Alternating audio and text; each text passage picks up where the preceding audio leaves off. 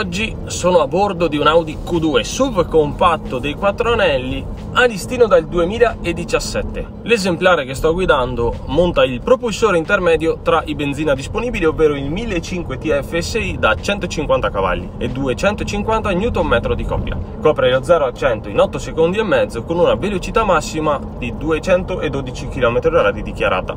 Non è di certo un razzo, tuttavia posso già apprezzarne l'elasticità. Il peso si aggira sui 1350 kg, mentre i consumi dichiarati parlano di 17-18 km litro, anche se nell'utilizzo reale non si va oltre i 13 non proprio super conveniente vista la declinazione del modello, forse con una componente elettrica per renderla ibrida sarebbero migliorati, sarebbe anche scomparsa la tassa di proprietà quale il bollo, a fronte comunque di un costo sicuramente superiore. Alla fine, insomma, tocca sempre pagare.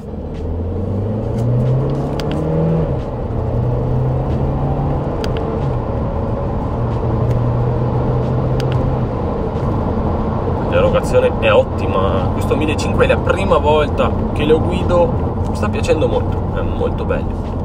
Come dicevo in apertura, i propulsori a benzina sono 4. Il 1000 3 cilindri TFSI da 110 cavalli sarebbe da 30 TFSI, il 1550 come questo o il 2000 TFSI in due tagli di potenza, uno più contenuto da 190 cavalli e il 300 cavalli che va ad equipaggiare l'SQ2. La scelta del 4 cilindri in linea a mio parere è stata azzeccata con il 3 cilindri le performance sarebbero state sotto la sufficienza anche in funzione del peso stesso della vettura. Se non interessa la sportività il 1500 va più che bene. Se invece si preferisce un motore a turbo diesel sono disponibili il 1616 cavalli e il 2000 in due tagli anch'esso di potenza, il 116 depotenziato e infine il 2000 TDI da 150 cavalli. Ovviamente questi propulsori sono sul mercato dal momento del lancio, dunque alcuni si trovano sulle Q2 del debutto, altri su quelle restyling come quella che sto guidando. Il cambio è il meraviglioso S-Tronic sequenziale doppia frizione a 7 rapporti è sempre un piacere trovarlo quando mi capita di provare un Audi. È preciso, è silenzioso, fulmineo, mai in ritardo, sempre comunicativo, rende la guida piacevole come pochi altri, davvero. Insieme al cambio ZF che avevo provato con la 230i è uno dei migliori.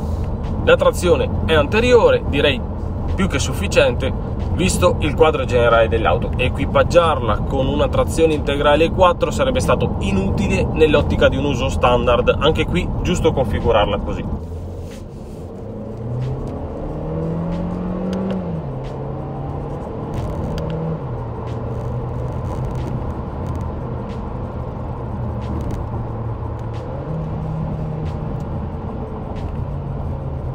il sound è molto buono. Non me l'aspettavo. Un propulsore piccolino diciamo non ha una potenza esagerata l'auto non è un peso piuma però si fa sentire.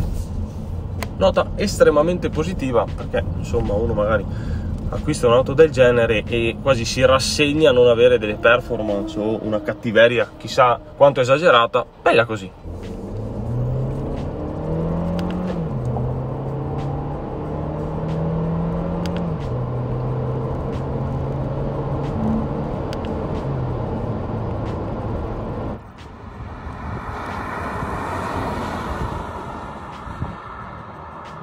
guadagna velocità in maniera graduale ma costante, l'erogazione è molto buona, il cambio modula sempre alla perfezione, se entra la cambiata in sequenziale la accetta, se non si va a intervenire rientra immediatamente in funzione automatica e imposta lui la marcia più adatta in base ai giri motore.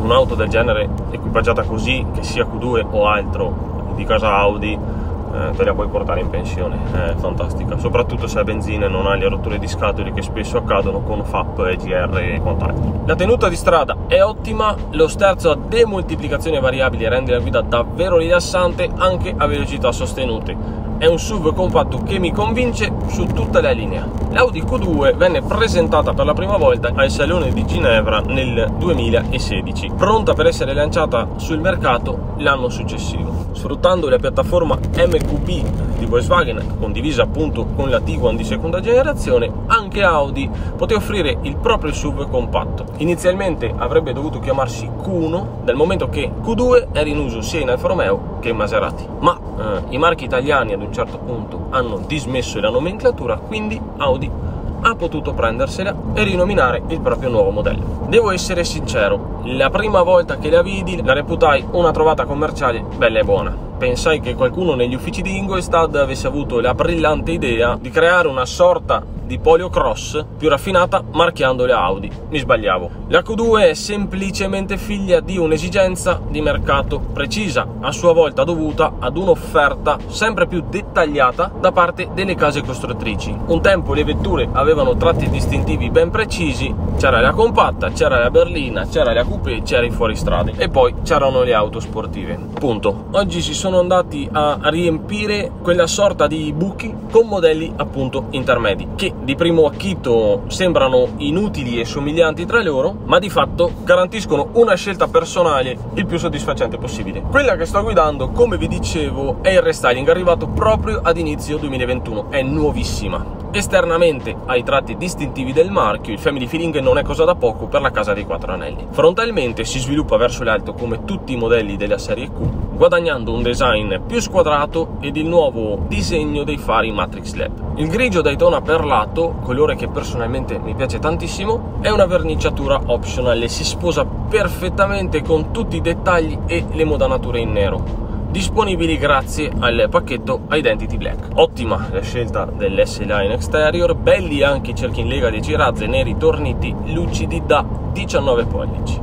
Il posteriore rimane molto simile al modello del debutto, eccezione fatta per il paraurti che riprende il disegno di quello anteriore e i fanali di coda anch'essi LED. Internamente offre uno spazio davvero notevole, guardandole da fuori non si direbbe. Molto bello anche il volante multifunzionale a tre razzi e anche della giusta misura. Sul modello che ho in prova sono stati aggiunti optional praticamente a non finire, come il pacchetto navigazione, l'assistenza al parcheggio, il pacchetto Comfort Plus, l'Audi Connect, il sistema audio 8 altoparlanti tra esterni e interni, c'è di tutto e di più. L'unica pecca, a mio parere, sono i sedili semplici in tessuto. Un pelle tessuto, o meglio, un pelle alcantara sarebbero stati sicuramente più apprezzabili, fermo restando che uno sono meno delicati due sono comunque estremamente comodi.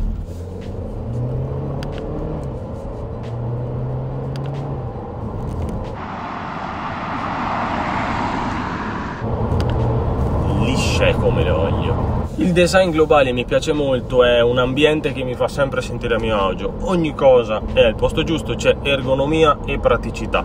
Audi è difficile da battere. La Q2 è proposta a poco meno di 30.000 euro, passando per gli oltre 36.000 per quella che sto guidando, fino agli oltre 55.000 per la SQ2 top di gamma. Si trovano comunque delle Q2 di ogni tipo per allestimento e motorizzazione. Il mercato dell'usato permette di portarsene a casa una a prezzi tutto sommato equilibrati. Ovviamente parlo per i modelli del debutto, per le restyling bisognerà aspettare un po' affinché le offerte vengano immesse appunto sul mercato. Ad ogni modo, di SUV compatti ne è purtroppo pieno il mondo, trovare quello più adatto a sé non è difficile e se si cerca quella qualità in più, Audi può rappresentare come sempre una soluzione ottimale. Concludendo, questa prova è stata estremamente comoda e tranquilla, sensazione che un'auto di questo segmento deve necessariamente suscitare. Non è ingombrante, non è troppo pesante, ha il giusto spazio sia in quanto abitabilità che a carico, il propulsore è ottimo come di averlo abbinato al cambio estronico. La qualità come sempre è di livello, anche se certi optional sono eccessivamente costosi a mio parere. Si potrebbe comunque offrirli ad un prezzo più concorrenziale.